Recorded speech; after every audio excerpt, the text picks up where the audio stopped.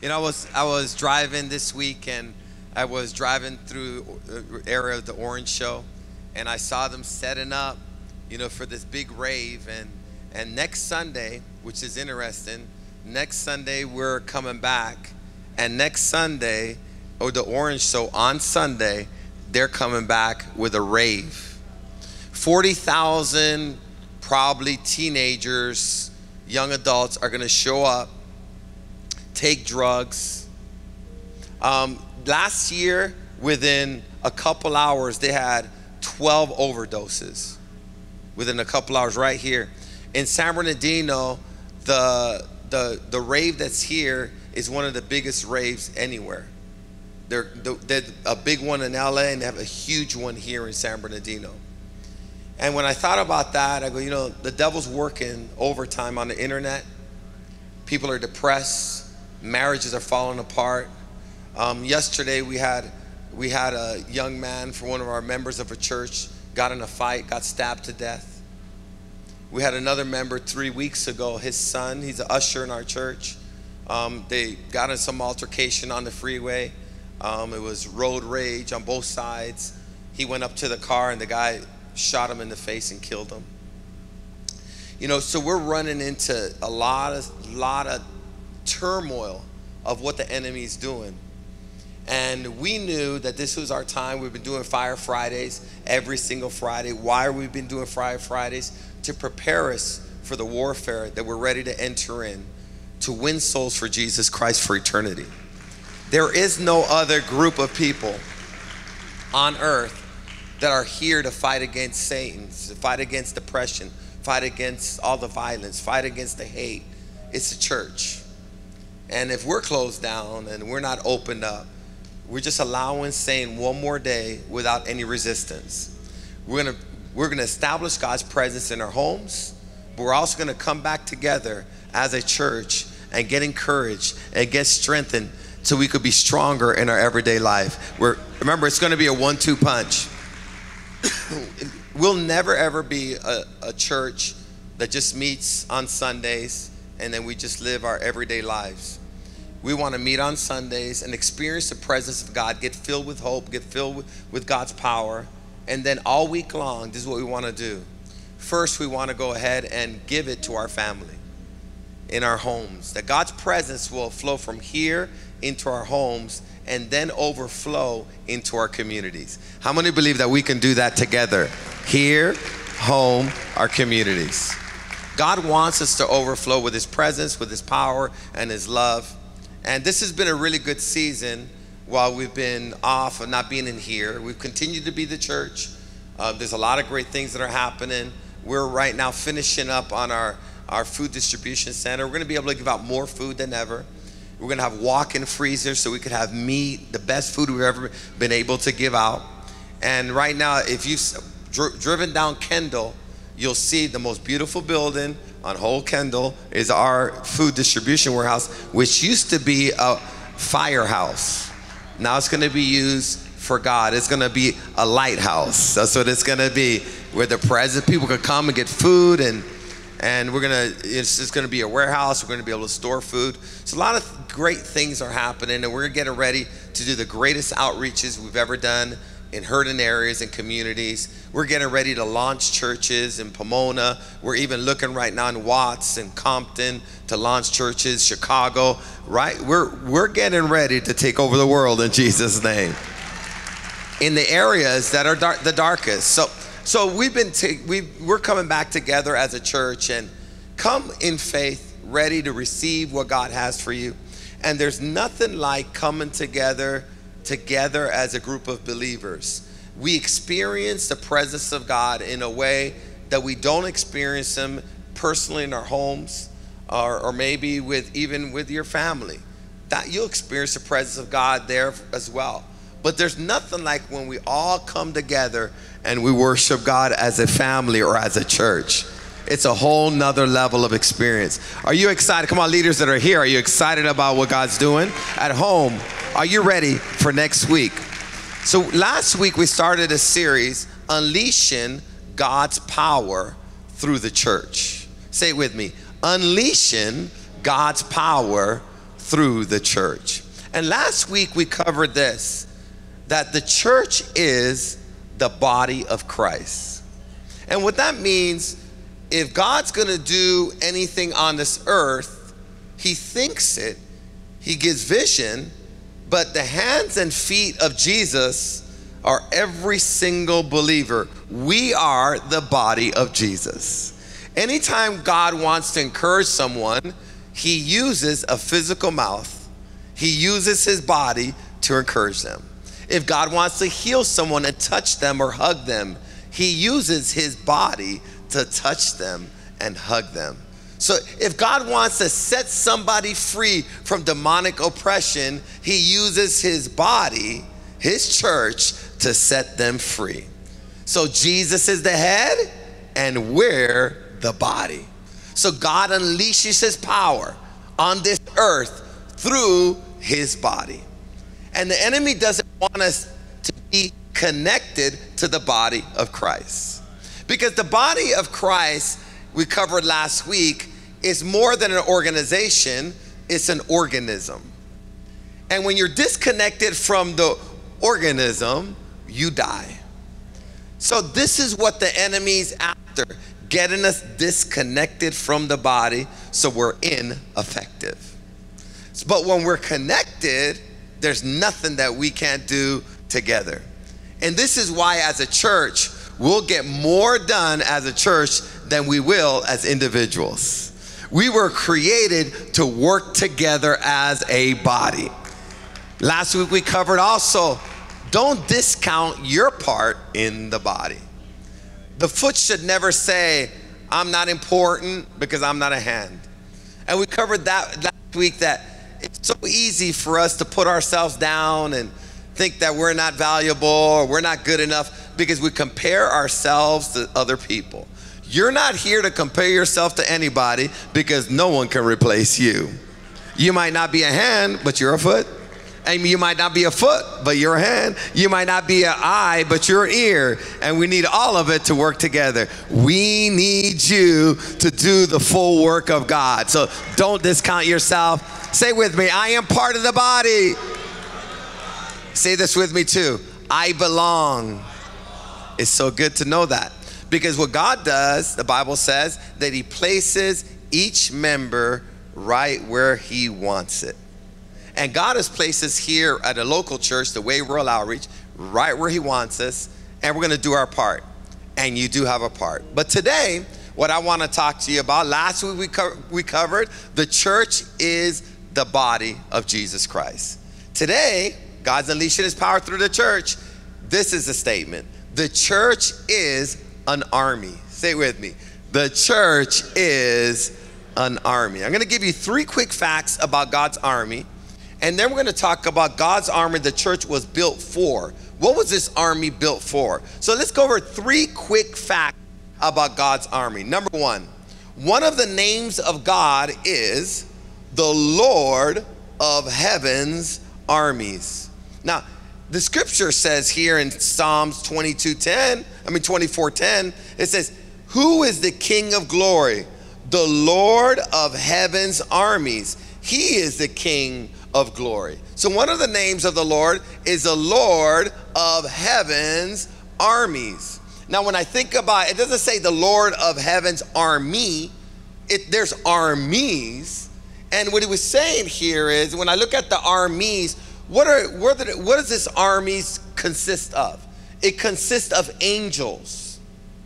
Angels are part of this are uh, part of these armies, and it consists of believers. Believers are part of these armies. We are the armies or the army on earth and there's there's armies in the spiritual realm and those are angels. And then there's demonic armies which are also in the spiritual realms that we're fighting against. Now either you're part of the army of god fighting for the will of god the kingdom of god the vision of god or you're part of another army the army of satan. And that's why jesus said this either you're for me or you're against me Either you're fighting for my cause or you're fighting against my cause. But the truth is, we're fighting. So, God, as believers, we're part of God's army. So, quick fact number one: we one of the names of God is the Lord of Heaven's what armies. I remember one day I was helping someone get set free from demonic oppression. Now, why do Christ, what why does Jesus say that these signs will follow those that believe? And one of the first things he says, you will cast out demons. That there would be you would be in a war that you would you would remove demons from families, you remove demons from purse people, you remove demons from cities. You'll have the power to resist and remove. That's powerful. That power you as a believer have because you're part of God's army. But I remember one day I was helping someone get set free from strong demonic oppression. It was so strong that the demons were literally took over the person's mouth, actions, gestures. And I remember while I was casting the demon out because God uses his body and his army to cast demons out. Say, Pastor, how do you cast demons out? This is all I say. I don't do no rituals or anything. I don't bring out some special oils and some smoke. Right? That'd probably be witchcraft doing that kind of stuff. But this is what I do. It says you'll cast them out. You know how we cast them out? With our mouth and faith. So all I would say is this I command you in the name of Jesus, go. And I have the authority, and you have the authority to command demonic spirits to go. There's some things that you're dealing with that are more than your emotions, they're more than a diagnosis from the doctor, they're actually demonic. And you've been trying to alleviate it through maybe a pill or some counseling but maybe you need to use some authority and start saying in the name of Jesus, I command this spirit of anger, this spirit of depression, this spirit of rejection. I command you, the spirit of suicide that's over my family. I command you in the name of Jesus, go. And you'll never be strong in the Lord until you start exercising and knowing, first of all, that you're in a battle. Someone say, I'm in a battle. How can you win a battle that you don't even know you're in? We don't talk enough about the warfare we're in, and we're being defeated for our lack of knowledge or our lack of engagement. Someone say, use your authority. But I remember casting that demon out, and all of a sudden, something switched in that person's face, and they were terrified and I seen the fear, and it wasn't the person's fear, it was a demon that was fearing. So I just saw the switch. One second, the demon was arrogant. I'm not going anywhere. The next second, ah! Like I didn't know what switch in the atmosphere. So I asked the demon, and he was trying to run. He was scared. I go, What do you see? Because I couldn't see it. And this is what the demon said angels. I go, what are they here to do?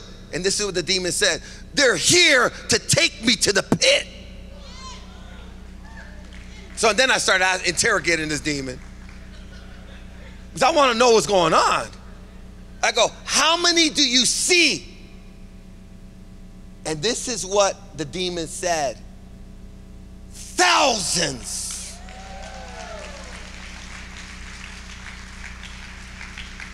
What God showed me in that moment that whatever battle I'm in, I got more than enough power to face the devils that are coming against me. And God is making his army aware you're in a winning battle, and I've empowered you with my army. You're not only part of the army, you got armies backing you up. I don't know how long, I'm, how far I'm going to get through this because I'm not going to rush through this. because we need to get this in our spirit. We need to understand that we are in warfare. And some of the things that you're fighting against right now, you're looking for a quick fix by someone coming and fixing you. And God says, I'll fix you. But there's some things that you're just losing in because you just don't know. You're not engaging in the battle. You're trying to fix your son and your daughter in the wrong realm. You're trying to fix your husband in the wrong realm.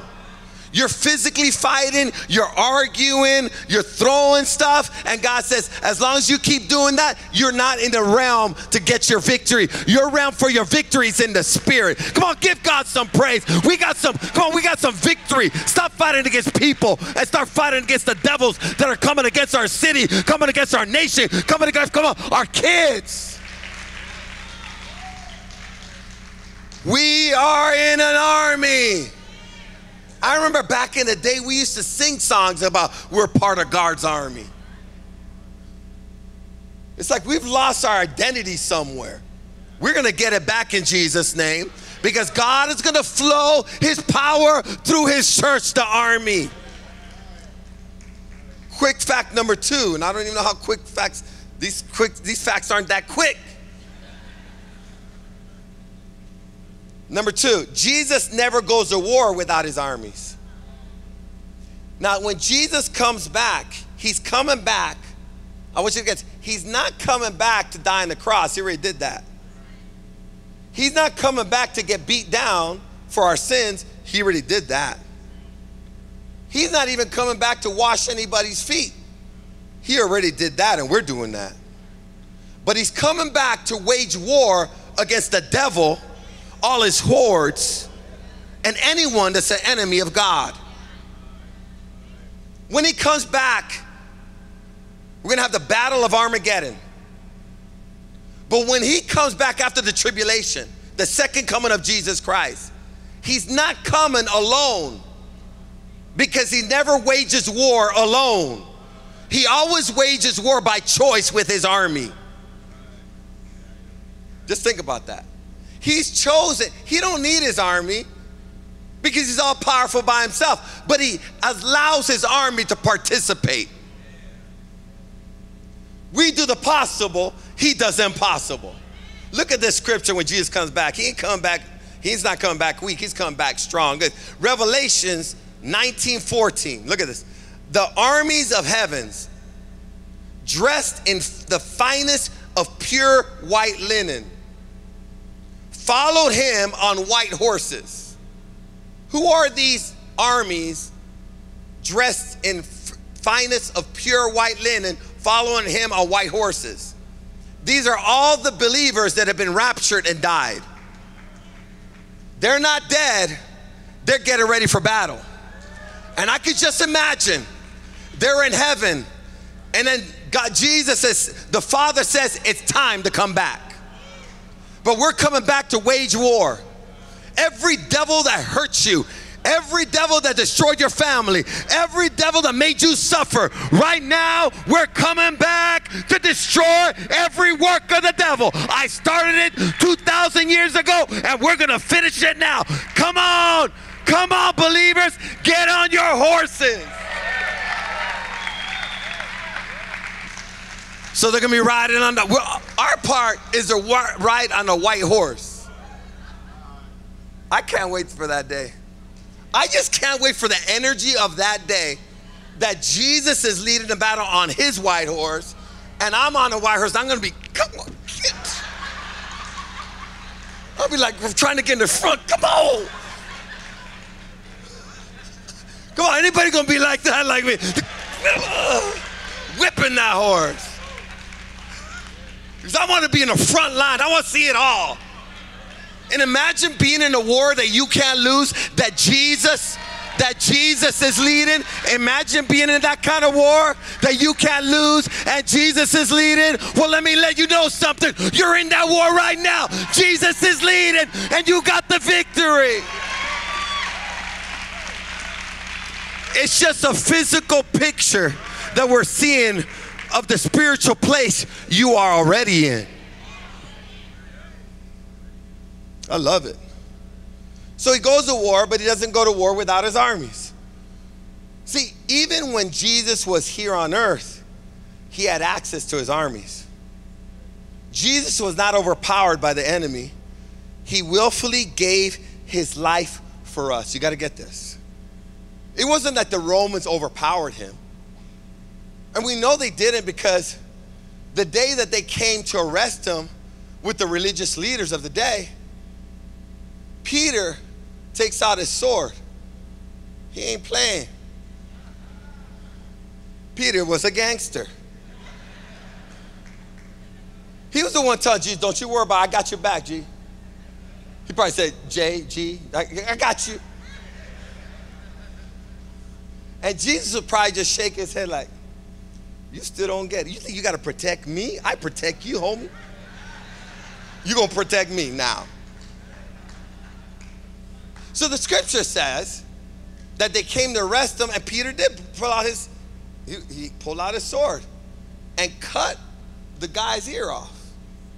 And Jesus now responds to him, and this, this is the response.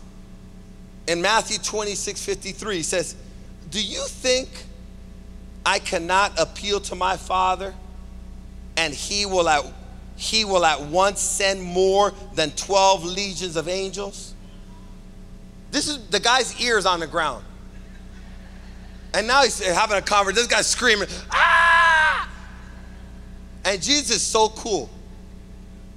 He just stops and starts teaching about the power that's available to him by just calling on the Father. When I go to war, my angels are backing me up. My army is backing me up. And I got an army on earth of believers that are backing up everything I say, they're carrying it out.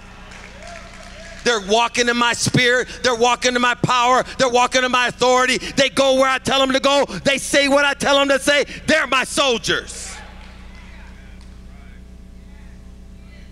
Satan can't have his way on this earth because the army of God's still here. That's why the Antichrist can't take over till the church is raptured. Because just one believer can call on the armies of heaven to take him out.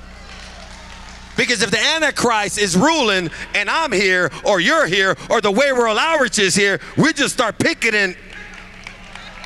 We just start protesting Antichrist in the name of Jesus. And we just start using our authority and we just start claiming scripture that we're the head and we're not the tail. You're underneath our feet. Jesus has given us all authority to trample on scorpions and serpents and demons.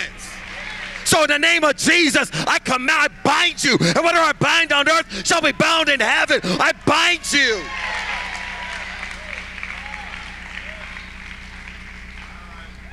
So in order for Satan to rule during the seven year tribulation, the church must be raptured.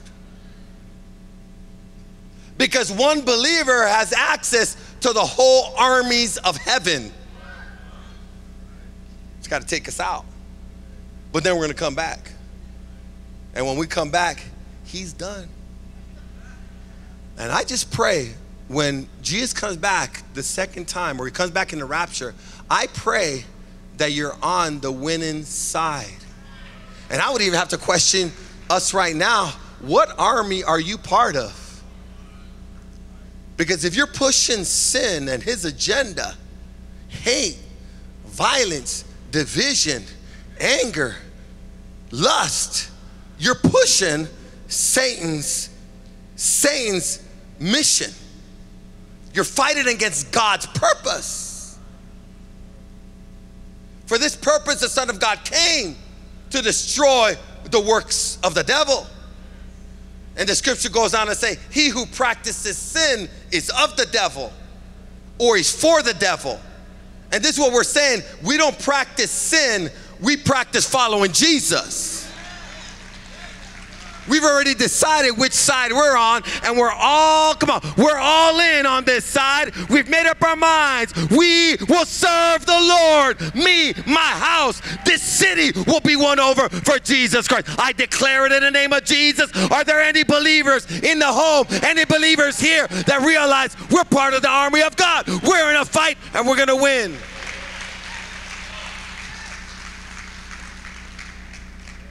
So Jesus said, that he could have called on the Father, and the Father would have sent him 12 legions. A legion is 3,000 to 6,000 soldiers. So he could have called for 36,000 angels up to 72,000 angels with which just one call. So, how powerful is that? Two angels destroyed the whole city of Sodom and Gomorrah. 72,000 angels would have just came in a call like, Father, yes. Am I, this is the truth. The angels were already there, ready to be dis- dispatched. And then Jesus says, No, I'm choosing to die for their sins. Don't rescue me because I'm rescuing them. I'm actually in war right now, and this is gonna be the greatest act of war I've ever done with this dying on the cross and resurrecting from the dead. I'm gonna overcome every destructive plan of the enemy. I'm gonna set them free. I'm gonna pay the price for their sins. I'm gonna fill them with my spirit. I will once again live in them, and they'll be part of my army. So stop. Is that powerful? Jesus never goes to war without his army. So, God, right now, and I'll tell you, church, this is why we're coming back as an army together in the house of God. I, as a pastor, I'm being led by the Spirit of God when we were supposed to open. There were churches that had been open. People would come up to Pastor, there's a lot of churches still open. I go, I understand. But we're not being driven by what other people are doing. We got to hear what God's saying to us personally. Because you understand, doing the right thing at the wrong time is not the right thing anymore. Because God's not backing it up. You do the right thing at the right time, it's the right thing, and you get the favor of God, the power of God, the protection of God. Everything follows that. Well, Pastor, you know, there's people that probably go to those churches, and I'm not going to be, I want you to get this. I'm not a politician. I am a, I am a, I just I'm a messenger of God. And my responsibility is to give the message of God. And if you're, you're part of this congregation, I don't care where you go, you ain't to be at home. You're to have to come right, right back here. because uh, I didn't feel right. I know you, you're supposed to be over there. What you doing over there? But we know this is we're to walk under the power of God, the authority of God. The Bible says this: submit to God, resist the devil, and he'll flee. You cannot resist a de- uh, you cannot resist a devil if you're not submitted to God properly. And God gives specific instructions, and we move with specific instructions. So we didn't open up this church until it was time. And then how we were going to open it up was another idea that God had to give me. How we're going to open it up? He goes, start on Fridays. Do something you've never done because I want to fill my people with my presence, with my power, exposing the prophets, exposing to apostles, exposing to my word, exposing to my spirit, exposing to the Holy Spirit, exposing to baptism of the Holy Spirit, expose them to all of it because they're going to need all of it with the fight that they're going to. But this fight that I'm preparing them for, come on, this fight I'm preparing them for is already won. All they got to do is come on their white horse and willing to ride with me. Come on, is there anybody willing to ride with Jesus? So now we're riding together and we're coming back to the house of God with power and authority. God's not coming back for a church that's moaning, crying, victims. We're not victims. We're part of an army. Come on, a part of an army that brings the power of God. We're the hope for this dying world, the church. Well, all I could cover today is the three quick facts.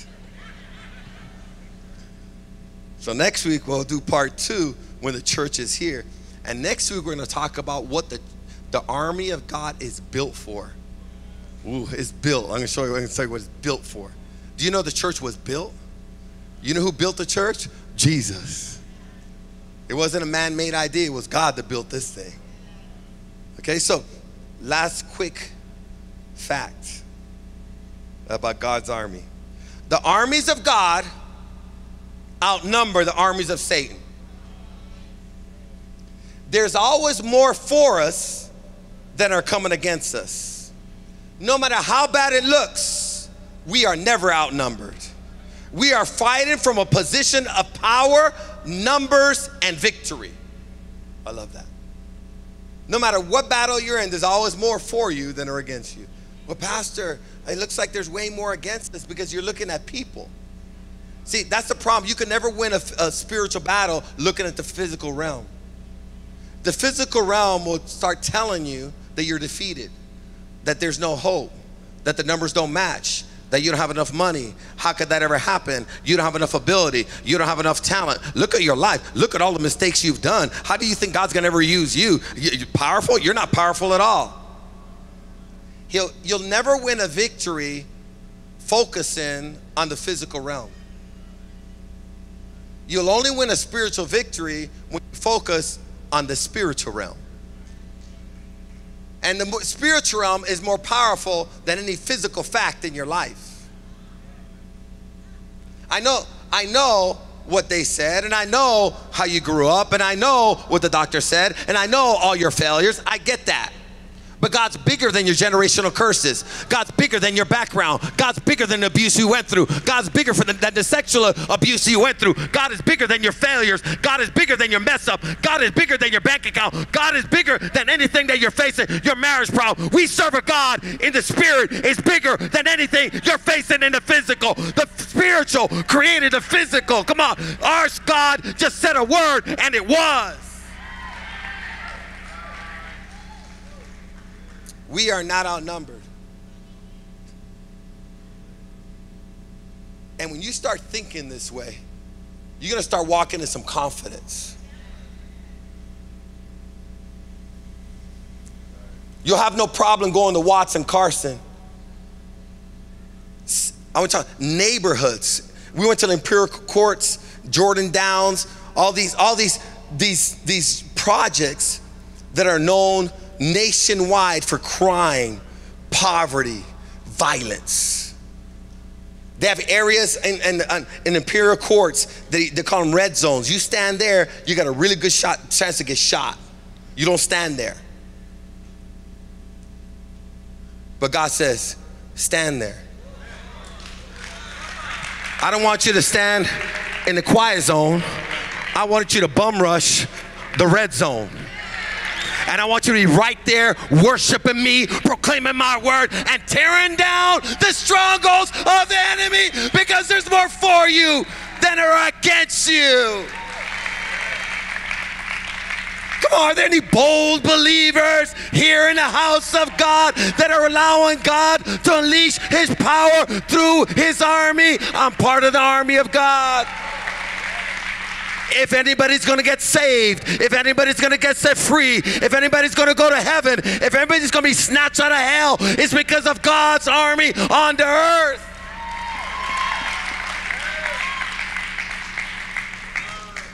And this is the last verse. 2 Kings 6, 16 and 17. Now, this is a this is an actual battle here there's a whole army chasing after one man and his servant. They're not out to arrest him, they're out to kill him. And it's interesting. It's just when his name's Elisha. And they want to kill him because they want to shut his mouth because his mouth is so powerful. And all Elisha does will makes his mouth so powerful. He only says what God tells him to say. And then when God tells him to say it, his power backs up everything he said. So this king is saying we got an enemy and it's Elisha's mouth.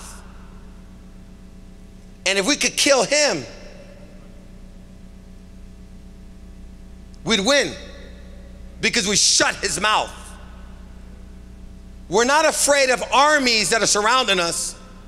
we're really afraid of this one man that's speaking with such power that when he tells the rain to stop or the clouds to stop giving rain, they stop giving rain. If he tells the king, you're gonna go to war, but you're gonna lose, we lose. We gotta shut this guy up because there's so much power in his words. But they don't realize that they're not fighting against Elisha, they're fighting against the armies of the living God. Elisha knows his backup. Do you remember David facing Goliath? And what did Goliath say? Goliath was int- intimidating him, saying that he's gonna kill him, destroy him, annihilate him. And then David said, This, you come to me with sword, javelins, intimidation, fear, but I come to you in the name of the armies of the living God. So let's throw down. A matter of fact, today I'm going to cut your head off with your own sword and then I'm going to hold it up. That's how it's going to go down. So if you're ready to throw down with me and my whole army, let's do it. Come on, church. We need to get back to knowing that we have some backup in the spirit.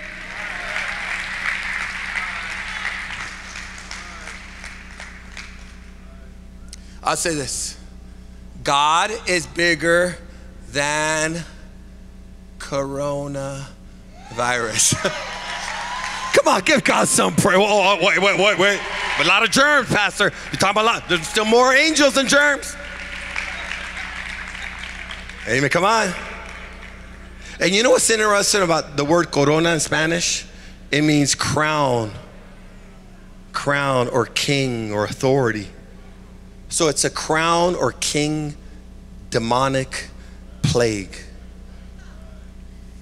But we serve the King of Kings and the Lord of Lords and the Lord of armies. And if he's for us, who or what can come against us? I will not die one day before my time. You can't take me out because I serve the King, the creator of the whole universe, and he has my life in his hands. I will not let fear stop me from carrying out the assignment of God. Come, someone, give God a, just a little bit of a praise if you believe it.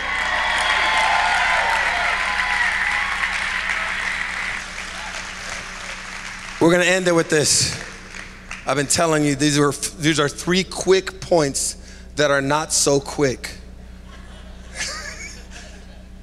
but this is what. So now there's an army.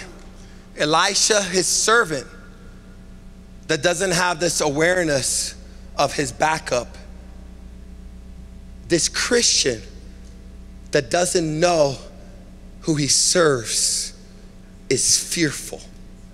All he could see is the devastation, the sickness, the defeat. He cannot see victory because he's focused and speaking about the wrong realm.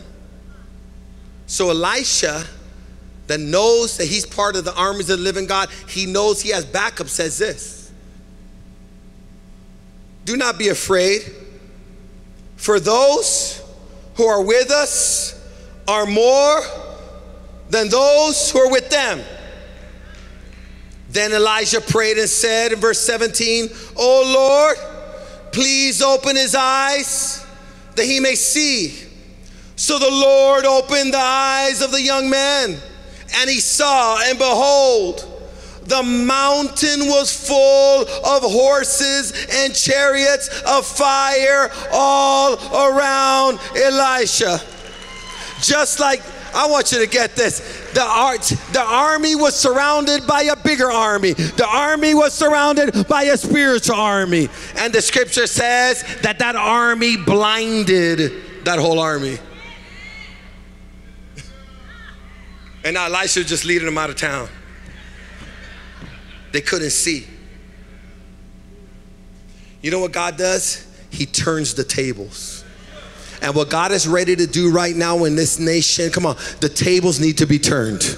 And it's not going to be a government that's going to turn the table. Come on, it's not going to be a, a, movement that's going to change, uh, turn the tables over. It's going to be the same Jesus that turned those tables over. It's the same Jesus right now that's ready to go to war in the name of Jesus. And he's ready to turn families upside down. He's ready to turn cities upside down. He's ready to turn your life upside down or right side up. Give God some praise that we're part of this army of the living God. One more praise to the King of Kings and Lord of Lords. Let's all stand up. I love being back in the house of God. Aren't you excited to be back? How many heard from God? Okay. That must that must mean God is here. I would hate to come back to a service with no fire. That would make me question, like, what? Or a patty cake message.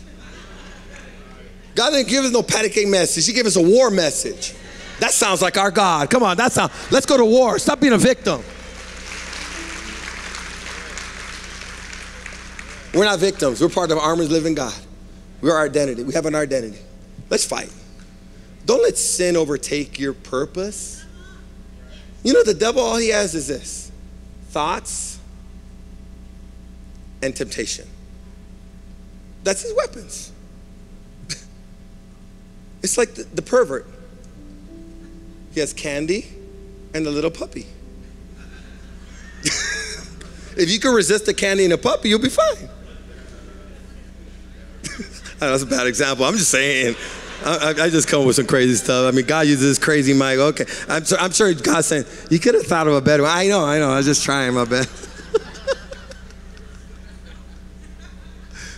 okay. But you guys understand that? Don't exchange your position, your victory, your family, your prosperity for some candies and a puppy.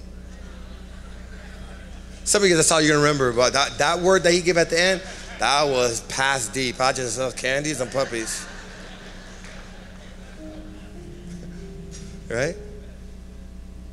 And I don't know what your candy is or what your puppy is. Let's keep going with that one. but when it comes, it's only a trap.